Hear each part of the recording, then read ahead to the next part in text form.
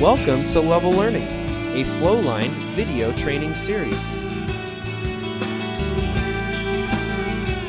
Hello again, this is Mark with Flowline bringing you our Level Learning series.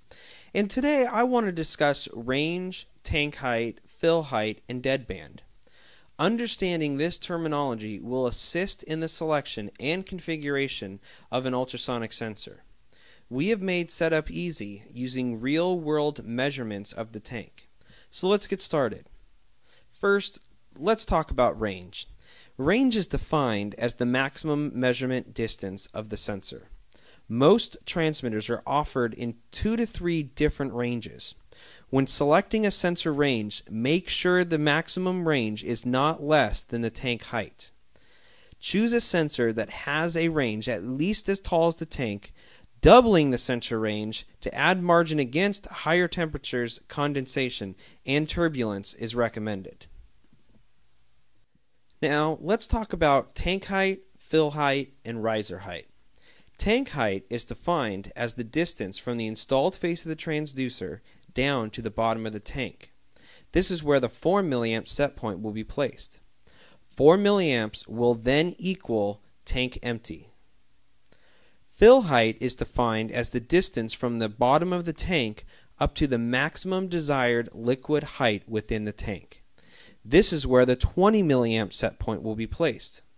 20 milliamps then equals tank full. If a riser is being used, then you will need to add the riser height to your tank height measurement. Riser height is defined as the distance from the face of the transducer to the top of the tank. Deadband is defined as the minimum distance from the face of the transducer from which the sensor can measure. Liquid level should never be allowed to rise into the sensor's deadband. To eliminate conflicts, the deadband is automatically subtracted from the fill height.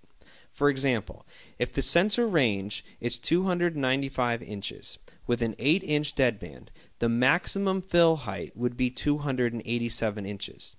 We get 287 inches by subtracting the 8 inch deadband from our total sensor range of 295 inches. So let's put this all together.